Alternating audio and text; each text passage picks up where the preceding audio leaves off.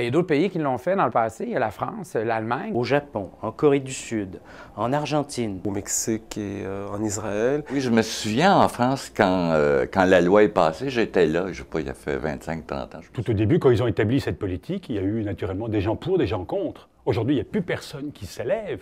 Et ils étaient unanimes à dire oui, une chance qu'on a eu ça, parce qu'on ne serait, pas- on serait même pas là aujourd'hui.